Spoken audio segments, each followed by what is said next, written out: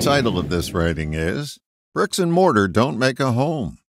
My dad was a bricklayer and he built our first house.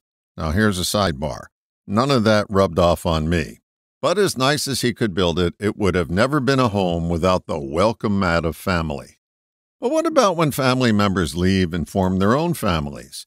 For the parent or parents left behind, they often experience empty nest syndrome. That's a fancy way of saying your home became a house. But home is really a sensation, not walls with a foundation. Home is becoming comfortable in your own skin, no matter what the outer situation is.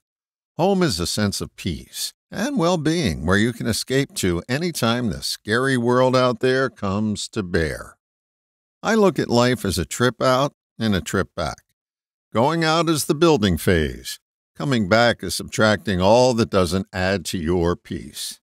Coming home is the acceptance that all you gathered on the trip out is not necessary for you to be comfortable anywhere and at any time.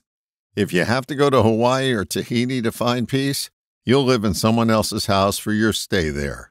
All the money you spend will not get you lasting serenity.